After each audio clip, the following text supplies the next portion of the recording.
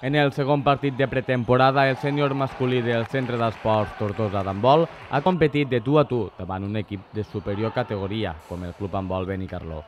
La presència del club de segona nacional és ja un clàssic al trofeu Joan Sabater Gelador, que este dissabte ha arribat a la vuitena edició.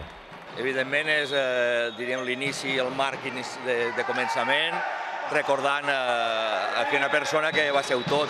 Des de que a l'escola del Temple va iniciar-se el món de l'handbol, va passar per totes les categories del club i malauradament fa 9 anys es va deixar.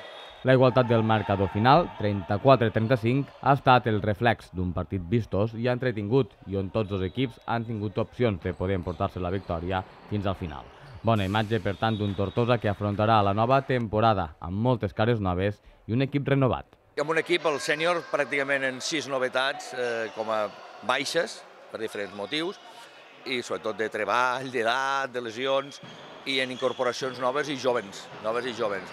Podríem dir que avui és un experiment, un experiment que està saldant-se de moment en bona, en bona nota, estem jugant amb equip de categoria superior, en moltíssima gent jove que torna de la inactivitat d'haver estat fora treballant o estudiant, i bueno, és, és tirar endavant i el nostre objectiu inicialment és, evidentment, mantenir la, temporada, la categoria per quart any consecutiu.